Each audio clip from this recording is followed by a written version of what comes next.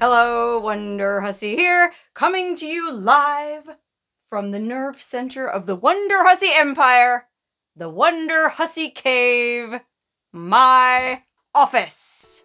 That's right, this is where all the magic happens, where I edit all those fabulous videos for you to enjoy every Wednesday. And this week, by popular demand, inexplicable popular demand, I'm going to be talking about how I make my YouTube videos. I think they say there's two things you should never watch being made. Laws and sausage. Well, I think they need to add a third thing to that, and that's YouTube videos because, well, the process isn't very glamorous, and sometimes it can be downright ugly. For example, giving you this sneak peek at my pathetic, cramped little office here in the casita. It's like a, I don't know, six by 10 foot room. That is not only my office, but it also doubles as my closet. And right now it's doubling as my recording studio, so I've got this giant softbox light up. Anyway, for the duration of this video, I'm just gonna be sitting at my desk. Don't worry about what's in the background. Okay, well, I have a feeling this is going to be a really long video because there's a lot of information to get to, so I'm just going to cut to the chase and tell you about how I started my YouTube channel, how I grew my YouTube channel, and how I maintain my YouTube channel, and that'll include information about the recording gear I use and the editing software I use. But first, let's go back in time all the way to, well, technically, I guess I started my channel in 2011. You know, back in 2011, I guess I created the channel just to throw up some goofy little clips that I was shooting at the time. I think I had a, like little videos of me riding my bike around at Burning Man. I know I went in the porta potty at Burning Man once. I didn't really get serious about having a YouTube channel until 2016, five years after I started my YouTube channel. So if you go on my channel now, it'll say that I've been YouTubing since 2011 and you go, golly, 2011, that's 12 years ago you don't have very many subscribers to show for 12 years. Well, that's because, like I said, I didn't really start YouTubing in earnest until 2016. And that happened pretty much by accident. Okay, I was driving home from Burning Man in northern Nevada. Well, I can't see Nevada on the map, but Burning Man's way at the top of Nevada, and I lived in Vegas at the time, which is at the bottom of Nevada, so I had to drive through a whole lot of nothingness. If you've ever driven through Nevada between Reno and Vegas, you know there ain't much out there. Well, there I was, driving my, uh, I had a pickup truck at the time, towing my vintage travel trailer, and I was cruising down a desolate stretch of highway in a part of the state that I hadn't driven before. And out of the corner of my eye, I saw what looked like an abandoned, well, I wasn't sure if it was a motel or a brothel. Remember, I was in Nevada, so it could have been either. So I pulled over because I'd always been, I guess I'd always been interested in poking around abandoned places. And normally, well, I would go into an abandoned place like that and I would take still photos for my blog. That's right, I wasted many, many, many years writing a blog at wonderhussy.com and you can go check it out, it's still up there, uh, about my modeling adventures when I was working as a nude and fetish model. I had some pretty interesting stories, but for whatever reason, I preferred to write about it instead of Gosh, it, would have made for some very interesting video content. And yes, I wish I would have started a YouTube channel way before I did, but I didn't. I wrote this blog for many years until I realized that huh, people don't really like reading. And well, that actually happened right uh, when I was telling you I was driving down the highway, came upon this abandoned brothel. For whatever reason that day, I decided to shoot a video instead of taking my usual stills.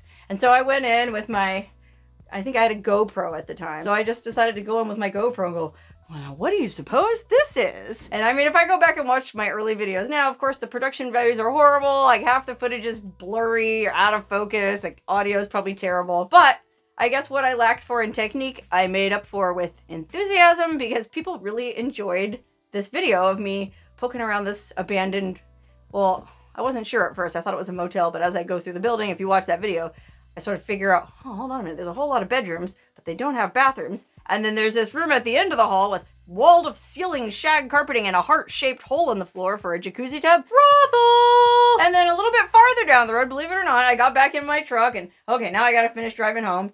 Not 15 minutes down the road, I came upon an entire abandoned town with an abandoned casino with old slot machines laying around. I mean, it was wild. Well, I couldn't drive past something like that, even though by now it was getting kind of late in the day and I'm trying to tow this trailer home before it gets dark. So I had to stop again. I got out with my GoPro and I went around in all the buildings and shot the whole abandoned I think I called it Abandoned Casino Ghost Town. I guess I edited those videos together.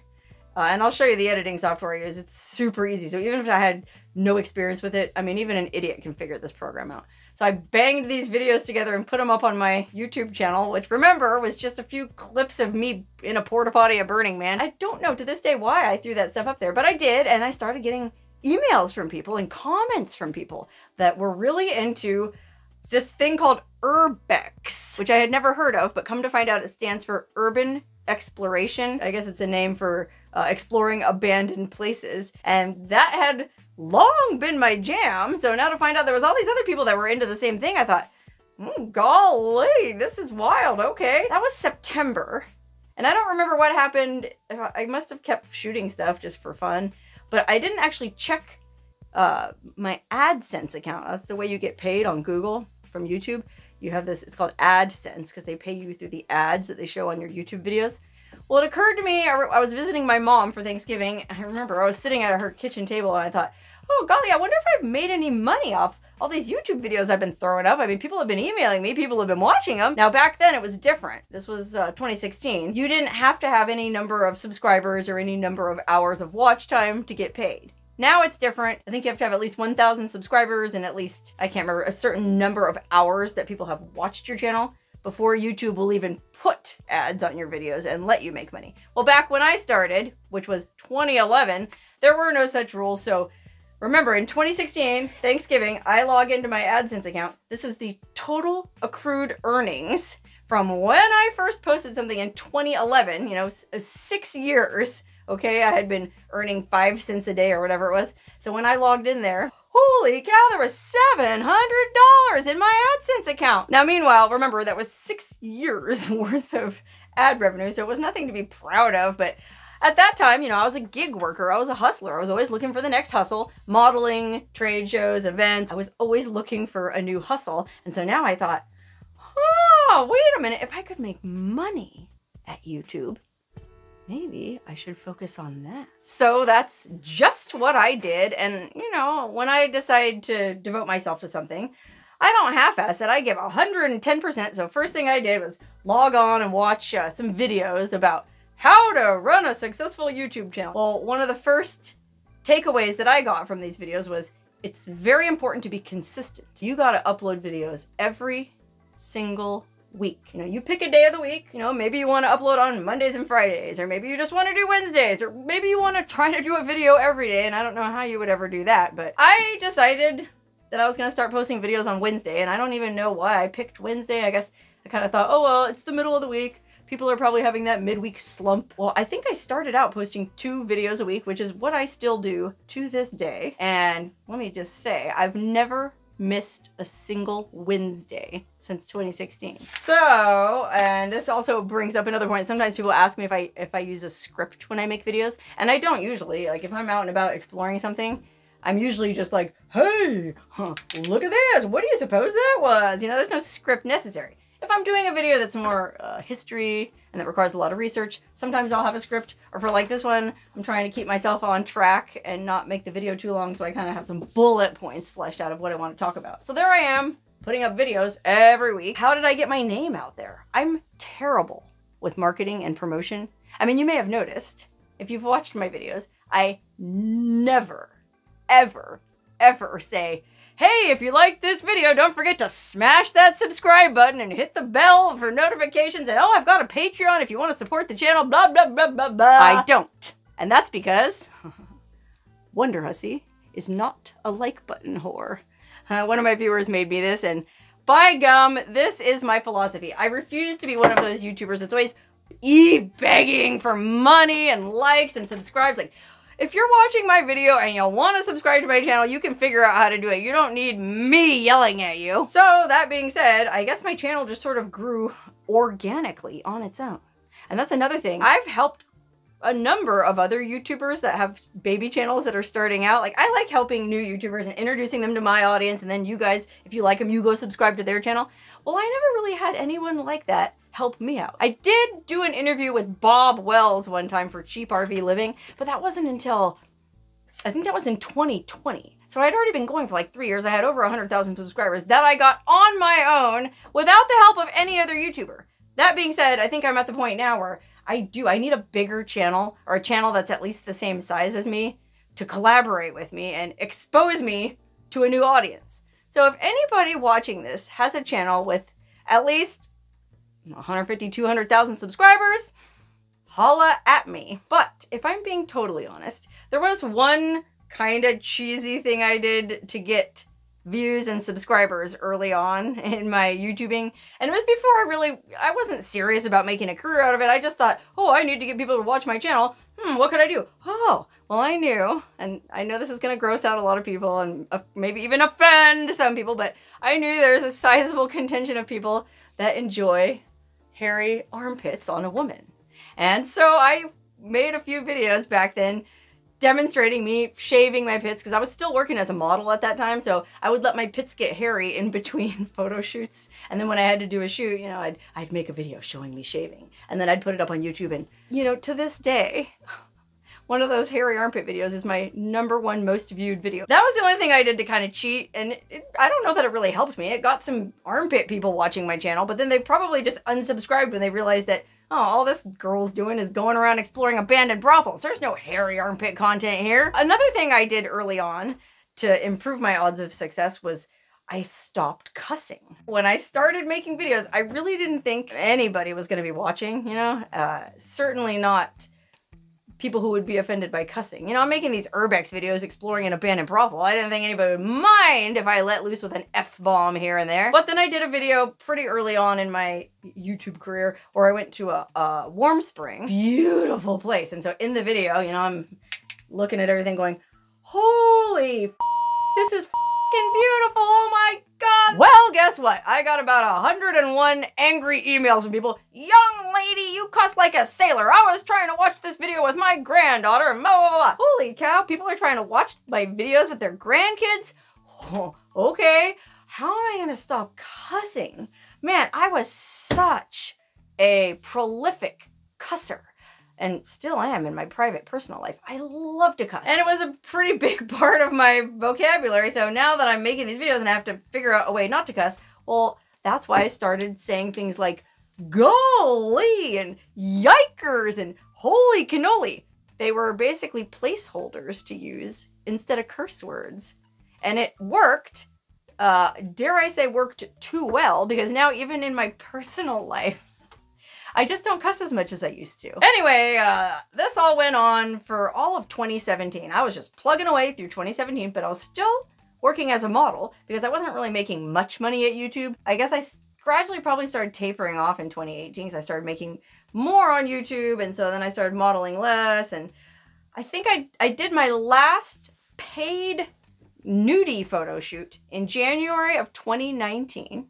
And I did my last trade show in January 2019 as well. So basically, since 2019, I've been 100% full time YouTubing and I haven't looked back. But that's not to say that I had any kind of crazy, like, astronomical success at any one point. The weird realization, at least in my experience, was it's just been very slow, steady growth with my channel. I have about 230,000 subscribers right now, and this is January 2023. I started in 2016. Well, I started late 2016. So we'll say January 2017 to January. So what is that? Six years. And I only have 230,000 subscribers. Now you might say, oh, 230,000 subscribers is a lot of subscribers. What are you talking about, Wonder Hussy? Well, it is, and it isn't in the scheme of things. You know, there's channels that have millions of subscribers. But I don't think I'll ever get to that level. And, you know, to be honest, I think a big part of it is I'm not ashamed to talk about the things I've done and I'm not ashamed to go by the name Wonder Hussy. I think the word hussy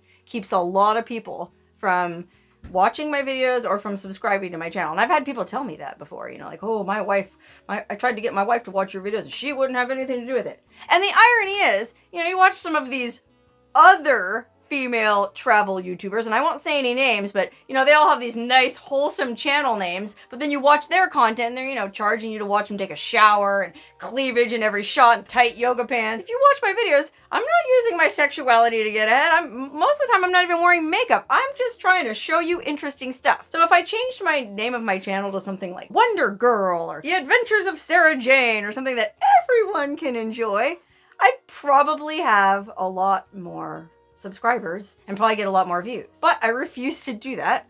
Probably because I'm truculent, I'm just stubborn, I don't want to kowtow to the bourgeois moral code of the day. So by keeping that name now, it's kind of like a filter, okay? It's like a litmus test. If you're cool enough to watch my videos despite the fact that my name is Wonder Hussy, then you're pretty cool, you're not judgmental, and you're alright in my book. So anyway, that's how I got to where I am today, my middling level of success, and I'm actually enjoying it quite a bit. I don't plan to stop anytime soon. People ask me all the time, uh, you know, aren't you going to run out of ideas? Never. There's so much stuff out there. I'll never run out of ideas. I haven't really suffered burnout. That hasn't been a problem for me because I like to keep very busy and keep working. I plan to continue on uh, posting two videos a week and maybe more for the foreseeable future. So stay tuned. Okay, now let's change gears and talk about how I make my YouTube videos.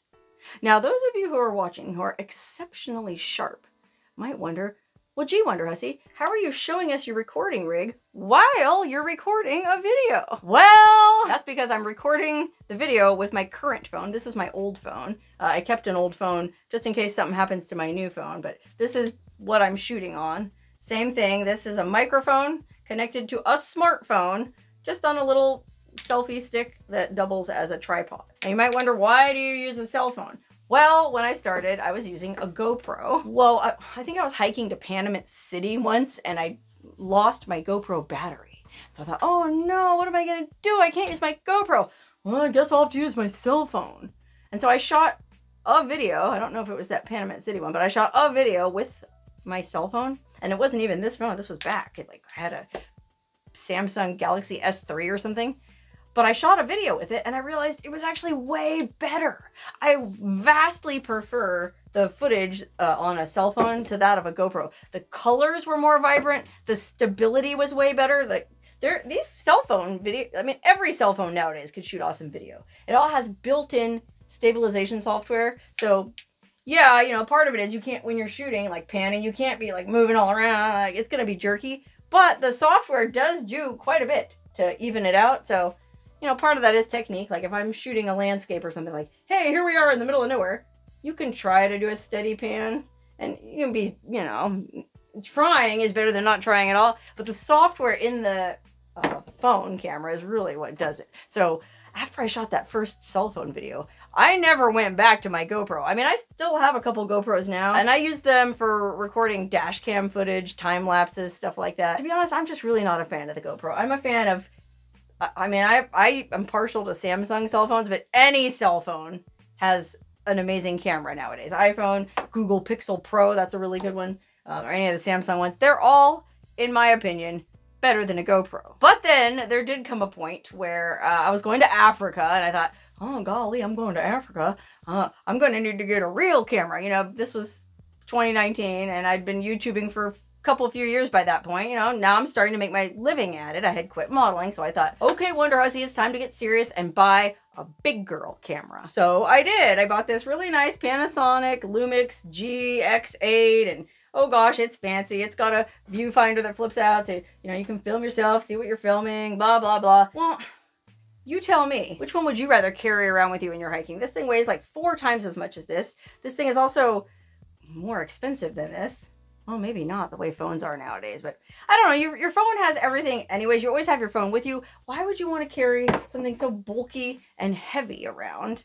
Uh, but the kicker for me was I shot one video with this camera when I was in Namibia. I was at this, uh, it's called quiver trees. They're kind of like Joshua trees, but they call them quiver trees. I was at this quiver tree forest. And so I go, okay, I'm going to use my brand new fancy big girl camera and shoot this video of me at the quiver tree forest.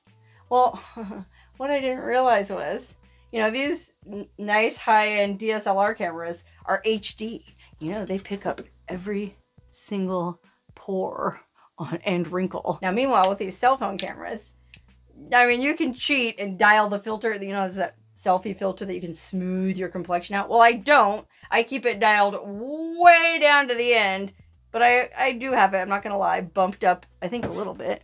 I mean, well, right now I have this softbox light, so you probably can't see every single pore on my face, but golly, the video that I shot with this thing, you could see every dent and ding in my face, and I thought, mm -mm, no way, I am not using that camera. So unfortunately, the poor Lumix uh, mostly just sits in a box. I break it out occasionally for time lapses or it has a good zoom on it. So if I need to zoom in on something, I'll use it every now and then. But for the most part, it's just me and my trusty cell phone. Now, when I first started shooting with my cell phone, I didn't have any of this. I think I was just using the phone itself, you know, like this. Doo, doo, doo. Well, I didn't even use a selfie stick or a bracket, or I certainly didn't use a microphone like this. But I found out pretty fast that I needed to come up with some answer to wind noise. Okay, I shoot almost all my content outdoors in the desert where it gets real windy. And if you've ever watched somebody else's video that didn't have the appropriate microphone, you can hear that wind sound. It's supremely annoying. And, you know, here I'm still watching my videos about how to make better YouTube videos all along. And, you know, one tip was you got to have good audio. You know, people will watch your video if it's jerky footage. They'll watch your video if it's blurry here and there. They'll watch it if it's this. They'll watch it if it's that. But if the audio is bad, they won't watch because it's really annoying. So that has been my biggest struggle with making videos was trying to get clean audio. And so this microphone that I use now, it took a lot of trial and error to come upon this uh, configuration. First, like I said, I was using a GoPro, and the GoPro microphone is is just part of the thing itself. I don't, I'm not even sure where it is. So they make this foam covering that goes all the way, like a little foam sock that fits over the GoPro. And that's supposed to act as a wind sock. They call it a wind sock.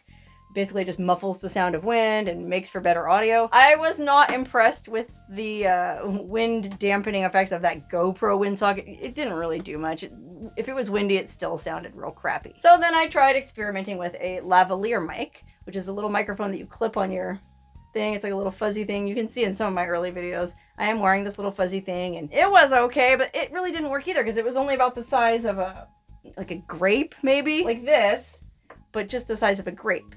And I realized it just, none of this was big enough. You need a a giant, obnoxious, the biggest, fluffiest windscreen you can find to deal with these desert winds. And so what I use now is made by the company Rode. R-O-D-E, and this one is called a Rode Video Micro, and it's freaking awesome. It costs $60 and it's worth every penny. Extremely durable. These things last quite a while. You have to buy a, a, some kind of a tripod with a phone clamp on it. You can see I have this. I guess I should break this down part by part. Okay, so I have a tripod which is a selfie stick that turns into a tripod and it has a spring-loaded clamp that'll hold your phone. And it also has a cold shoe at the top. That's what that's called, a shoe. Anyway, it needs to have a shoe at the top that you can slip this thing that comes with the microphone right in there. And then you just screw it on. And now you've got your microphone. And then, well, this was another challenge I faced. This microphone comes with a connector that's supposed to plug into a headphone jack, well, unfortunately, phones don't have headphone jacks anymore. That was like a huge inconvenience for me. Trying, I had to buy adapters, and some adapters worked and some didn't. And I had so many audio troubles over the years. Audio is by far my least favorite part of any of this. I like shooting, I like editing, I like email and corresponding, I like all of it. If I could have somebody help me out with anything, it would be audio because I just don't enjoy audio. But thankfully now I found there's this one connector that goes directly from the Rode Video Micro right into the USB-C port. And it is a dream. It makes shooting so much easier. And like I said, this Rode windscreen is epic. The only downside to this Rode Video Micro is when you're carrying this around, it kind of draws attention. You know, like if you're just carrying a cell phone around, like sometimes I want to record stuff on the sly. Like if I go into a business or something and I don't know, want people to know I'm recording, well, if you just hold your phone, you can kind of cruise around, shoot footage. But when you have this thing with this giant gray fluffy ball on top of it, it does draw attention and now everyone's looking at you, hey, what are you doing? But that's a pretty minimal downside compared to all the benefits that this thing provides. And I'll put links to all these products in the description of this video uh, because I do actually get a decent number of emails from people asking me what kind of equipment I use. And so I thought I might as well just share all that info with you. Okay, let's go outside real quick. Uh, I'll show you how I shoot and how I edit, I guess by making a real quick demo video. Okay, let's go outside in the front yard of the old compound. Yeah, of course, the wind died down now and it's totally still. It was like blasting windy all day. Beautiful evening in the desert, though. Look at this. Amazing sunset. Sky's pink, purple. Oh, actually, I do feel some wind. Let me see if I can catch wind noise I was talking about. Okay, I'm recording using my microphone right now. And here's what happens if I unplug the microphone. Okay, I'm outside, walking around my Death Valley compound, checking out the beautiful twilight, listening to the beautiful coyotes. I don't know, does the sound quality uh, sound not as good to you? Okay, anyway, to demonstrate my shooting technique, I'm just going to go over here to this old miner's shack right across the street from where I live. I live out in the middle of nowhere where there's stuff like this scattered about. Anyway, you know, say we were walking through the desert and we came across this old miner's shack. Oh, what do you suppose was in here? Now, I should note, this particular miner's shack is on private property. This is my neighbor's property. She bought this shack somewhere and had it trucked in here. So, you know, if I was making a video, I wouldn't be able to just go in there and start poking around because, well, this is actually something I need to address. Earlier in my channel, I didn't used to worry so much about no trespassing signs. I kind of thought they were there more as an advisory, you know, like to protect the property owner from liability. Like, well, they don't really care if you go in there and shoot. I got busted once by Lake Mead law enforcement. That's right. Uh, some cop from out at Lake Mead called me once because I made some videos at these abandoned marinas. You know how Lake Mead is drying up. So I went to some of these abandoned marinas and shot videos of like the old abandoned motel that used to be there, park employee housing, brand new park employee housing, like duplexes that were like move-in ready, beautiful carpets, fresh painted walls, like the doors were just swinging wide open. It was bizarre, but these marinas were dried up. So nobody used them. So I'm out there, you know, making my videos. I posted them got a call from Lake Mead law enforcement. And I don't remember how he phrased it, but he basically asked me to take those videos down. And well, of course I complied right away because I don't want to get in trouble. I don't want to get fined. After that, I was a lot more careful and more uh, observant of no trespassing signs. So if I was walking around the desert and came upon a building like this that had a no trespassing sign and a new shiny one like this, I certainly wouldn't go uh, in it. I might, you know, sort of like explore the perimeter. So I guess that's what I'll do for this little demo video. So when I'm shooting a video, I'll come up to the building and I'll go, oh gee, look at this. Isn't this amazing? And oh, okay, let's check out the outside first. Go all the way around the outside, you know, pan up and down, point out any interesting well, this one you can't see in the window, so it's kind of boring. But, you know, if there were interesting things, I'd be pointing those out and I'd be looking in the windows and well, I'd also be turning the camera every now and then so that it shows my face. And well, depending on how you feel about my face, that might be a good thing or a bad thing. But I think a video is more interesting if the person shooting it turns the camera around every now and then so you can see their face and their reaction.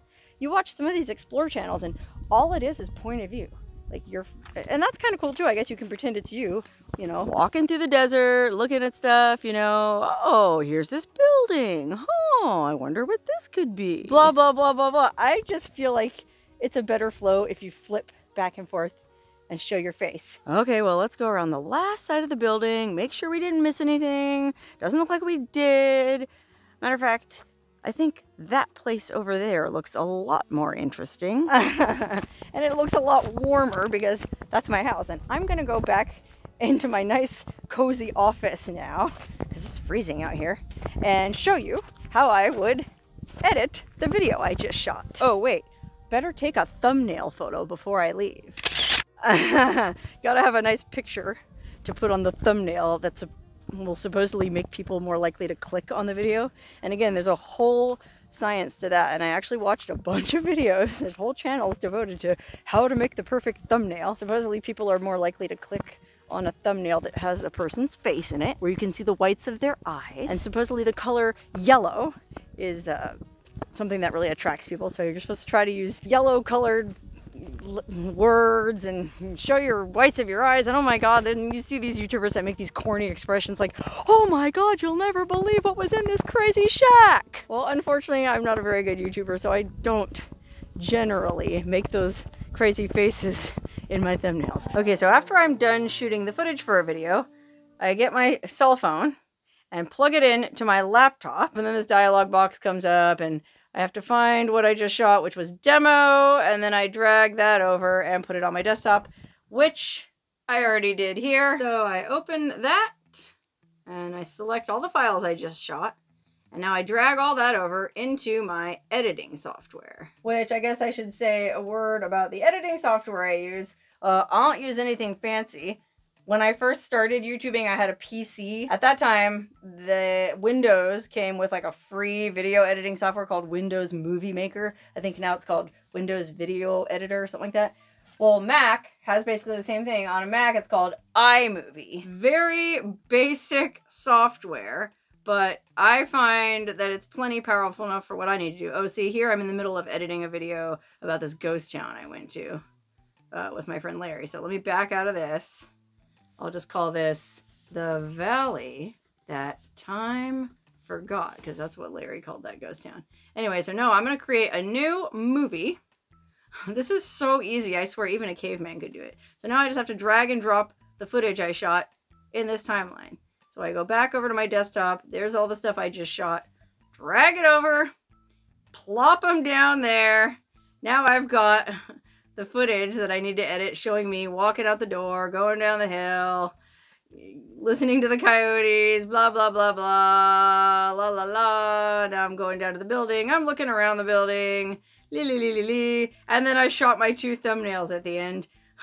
one my way and one the YouTube way. Anyway, that's pretty much all there is to editing with iMovie. I mean, they have these transitions you can pull, like cross dissolve. You put that in between, and now all of a sudden one clip dissolves into the next like magic. How about that? And then, of course, you can add your titles and little effects, sound effects, and music, and I'll get into that in a minute. But golly, you know, there was a time in 2021 that I thought, okay, you know, now I've been YouTubing for four or five years. I need to start using real editing software. I need to start paying, because this is free, I need to start paying to use Premiere Pro, you know, Adobe Premiere Pro.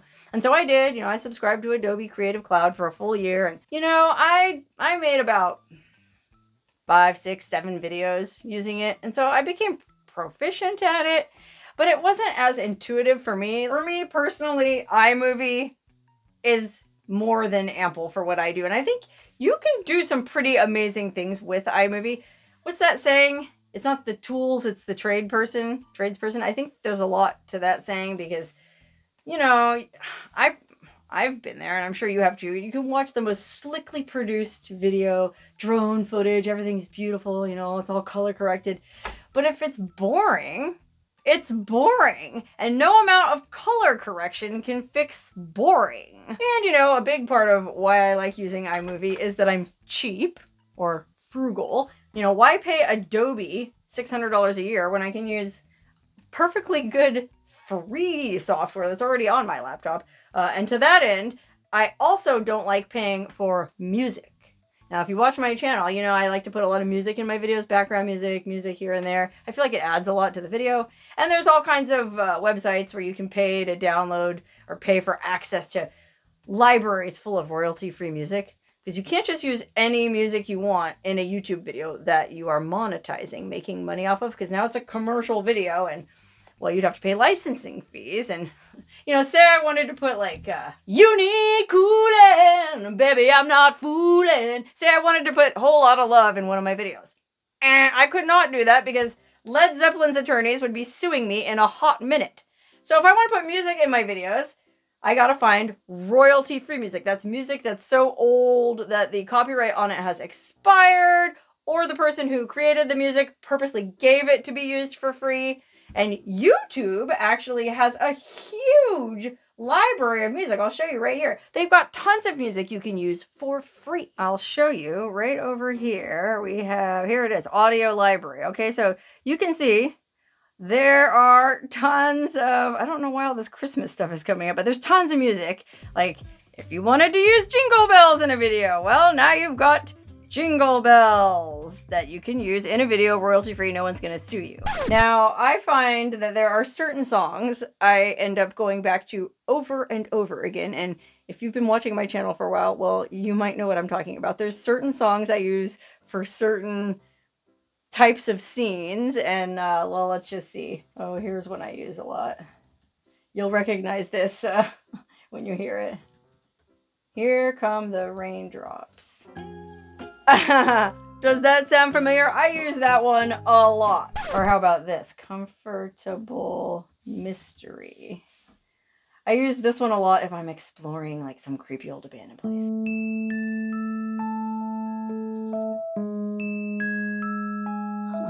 Sound familiar? Or if I have like a cowboy scene, I'll use this one here. How about that? Anyway, you can see there's just hundreds and hundreds. I mean, there's thousands of songs you can use on YouTube and you can filter them by genre. Say I want something that's uh, classical or I want something that's more jazzy or I want R&B. You can filter it that way. You can filter it by mood. I'm not really sure what what song I want to use, but I need something that's kind of dramatic. So dark, dramatic, maybe sad, you apply that. And then if that's not enough, you can even put in like keywords like, oh, I want something that reminds me of a murderer. Look at that. So it did, it came up with one song. If I wanted a jazz song that was dark, dramatic, and seemed like it had something to do with a murder, it would be this.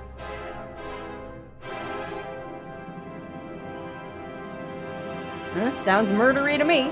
Anyway, you can download all those tracks for free as part of the YouTube creator program and use those in your videos as much as you want. So I really don't see the need for paying for any special music website. I mean, I guess maybe people you tell me maybe you are tired of hearing the same songs over and over again in the background of my videos, but I I don't know. I feel like no one really listens to the background music anyway, and sometimes I actually wonder why I even bother putting in background music because it's very time consuming. Like the editing process to edit a video like this one I'm working on uh, that I showed you earlier, this ghost town that I was exploring with Larry. I think I shot something like I probably had like an hour's worth of footage, so I had to get it down to, well, I got this one down to 21 minutes and 38 seconds. And now, you know, that, just putting the footage together and chopping it up, that doesn't take much time, maybe a couple hours. But now I gotta go in and put all this background music and that's what gets really time consuming i mean it could take and it often does take an entire day eight hour day ten hour day just to fully edit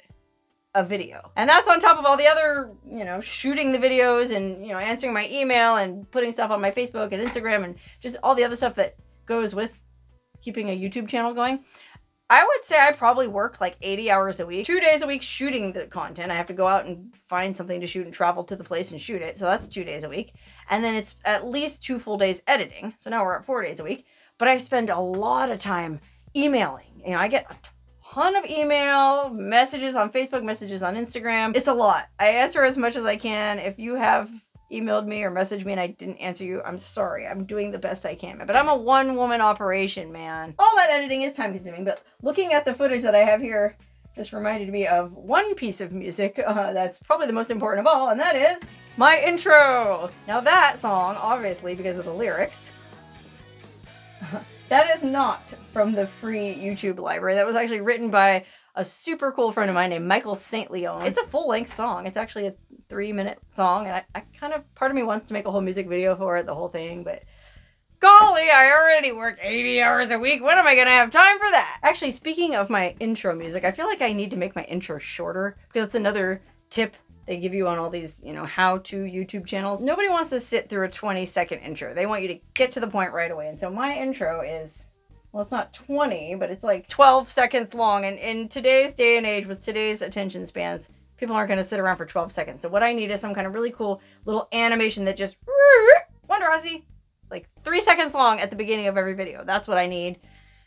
Again, I don't know when I'll ever have time to work on that, but uh, that is something on my to-do list. I mean, because I am, you know, I'm still trying to grow my channel. I, I'm still coming up with ways to grow my brand, and you know, maybe I'll never get to a million subscribers, but I'd like to, you know, maybe at least get to half a million. And so to that end, I have some ideas of things I can do. I mean, first of all, I can keep plugging away, keep cranking out content. I could change my name, you know, like I said earlier, to something more family friendly. I need to get a better logo. Like, I need to pick one.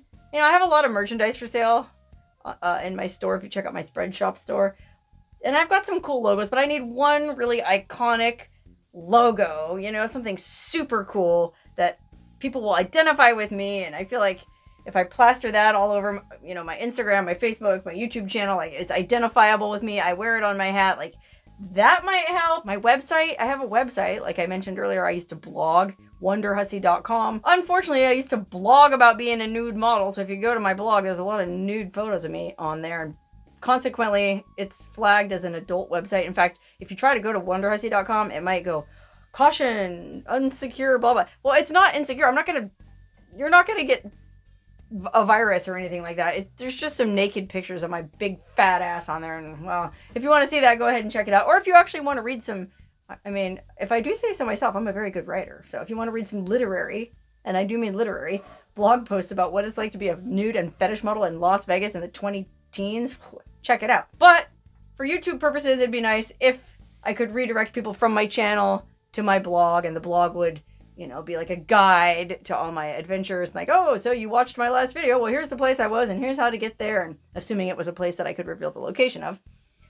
That's another idea. TikTok. I should probably start a TikTok. I suppose I should have a name for my followers. That's another thing I notice a lot of YouTube channels do. Like, they'll, they'll like, I could call you all, you know, at the beginning of every video, Hello, my Husketeers, and welcome to another Wonder Hussy adventure. Or, you know, hello, Huss puppies. Whatever, I could come up with a name for you. I don't know. Should I? Is that cheesy? Uh, do you like Husketeers? Huss puppies? Comment below. And then the only other thing I could think of is maybe try to make my videos shorter because apparently people have short attention spans. So if I can just get them videos under 10 minutes, then I'll finally be able to grab that brass ring and success will finally be mine. Because at the end of the day, even though I have 230 thousand subscribers. And by the way, there's my 100,000 subscriber plaque, which if I was a good YouTuber, again, I'd probably have that hanging right behind me instead of all this other crazy stuff. Anyway, uh, even though I have 230,000 subscribers, I'm not satisfied. I feel like I can always be doing better, and I, I can always be doing better. I can always be improving my editing, which, golly, if I watch some of my old videos, I've improved a lot. I can always be improving my storytelling. I can improve. I can just keep constantly keep improving. So I don't know when it comes to like gimmicky stuff like, oh, make shorter videos or I'll go on TikTok. I'll change my name. Huh. No, I'm not I'm just going to keep on doing what I'm doing the way I'm the way I like to do it. And yes, of course, I'll make some concessions, you know, like maybe try to keep things a little shorter and tighter and uh, you know, you don't want to be too long-winded. But I'm I'm not going to pander. I'm not going to change myself too much just to get a few YouTube subscribers. But I am open to suggestions. So if you have any ideas for something I could do to grow my channel, let me know. Matter of fact, I know one thing I could do to grow my channel is live streaming. I need to do a live stream and I'm really afraid to do it because the last I tried to do a live stream like two years ago when I got the dang 100,000 subscriber plaque in the mail. I was going to do a live unboxing. But the YouTube recording software didn't work with my phone. And oh my God, it just turned out to be a huge disaster. And it was supremely embarrassing. And that was like over two years ago. And I haven't live streamed since. I need to try again. I just don't want to be one of them YouTubers that's constantly live streaming and begging for money because that I find to be the most annoying of all. In fact, one time somebody did call me an e-beggar way back when I first started my channel.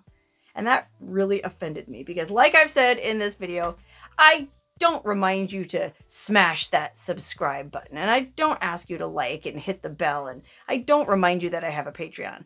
I'm not an e-beggar. You know, I'm in here 80 hours a week just cranking out content because I know a lot of people can't get out there and they live vicariously through this. And even those of you who can get out there, well, for some reason, you keep watching too and I appreciate that. So anyway, uh, this video is way long enough. I hope you found that interesting and informative, that little peek at how I do my business. If you have any specific questions, feel free to email me. I answer as much email as I can. Uh, mm, I'm an open book. Ask me anything.